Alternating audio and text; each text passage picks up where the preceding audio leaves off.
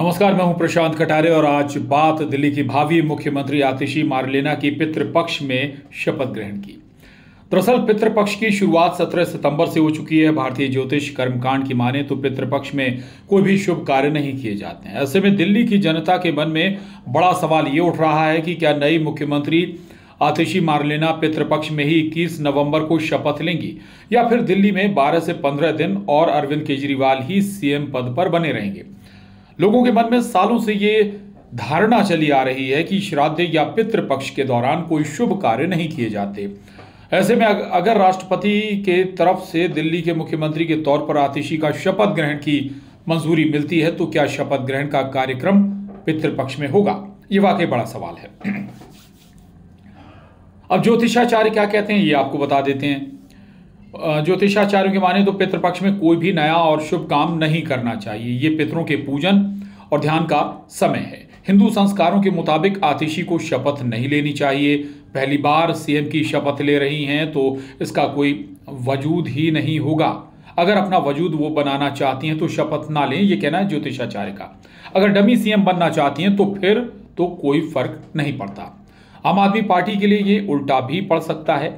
मजबूरी में किया गया सौदा है, लिहाजा इसका कोई फ़र्क नहीं होगा। दिल्ली के चुनाव के लिए भी ये ठीक नहीं। ये कहते हैं ज्योतिषाचार्य।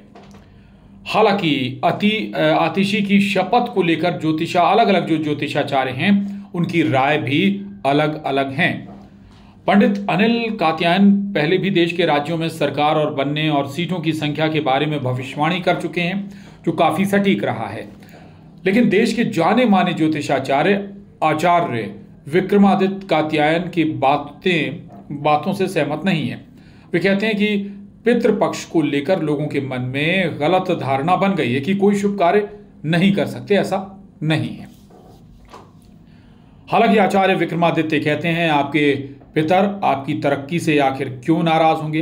अगर आतिशी शपथ लेती हैं तो उसमें कोई रोक नहीं है, लेकिन शपथ का मुहूर्त शुभ होना चाहिए। आतिशी किस घड़ी और किस बेला में शपथ लेती हैं, ये इस पर निर्भर करेगा। और कुल में मिलाकर, जी हाँ कुल मिलाकर पितृपक्ष को लेकर अलग अलग धारणाएँ सामने आ रही हैं। कुछ पंडित इस अवधि में शुभ कार्य वर्जित मानते हैं तो कुछ का मानना है कि आप शुभ कार्य कर सकते हैं। हालाँकि ज़्यादातर लोगों के मन में धारणा बनी हुई है कि पितृपक्ष या श्राद्ध पक्ष के दौरान लोग ना तो बच्चों को नया कपड़ा खरीद कर पहना सकते हैं और ना ही नया वाहन या फिर ना ही अन्य तरह के कार्य कर सकते हैं।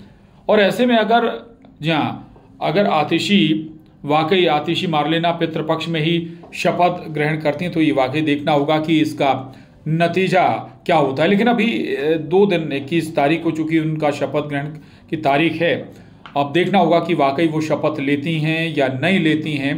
दूसरा एक और महत्वपूर्ण है कि ये तीन महीने का, तीन चार महीने का मामला है स्पेस है उनके लिए, ये उन्हें ज़रूर सोचना होगा कि तीन चार महीने सकारात्मक ऊर्जा के साथ वो काम करें या तमाम जो प्रेशर रहेगा, चूँकि प्रेशर एक ये रहेगा, आपके पास नया काम है यानी कि चार महीने में जो आपको कर दिखाना है कोशिश आपकी होगी कि चार महीने में आप क्या कर दिखाते हैं। लेकिन आतिशी पहले ही एक अलग लाइन ले चुकी हैं। वो कह चुकी हैं मैं केवल कुर्सी पर बैठूँगी जबकि मुख्यमंत्री तो अरविंद केजरीवाल ही हैं।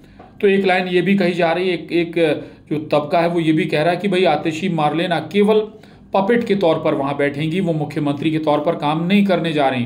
काम तो फाइनली जो अरविंद केजरीवाल हैं, वही करेंगे, लेकिन ये सियासी स्टंट है।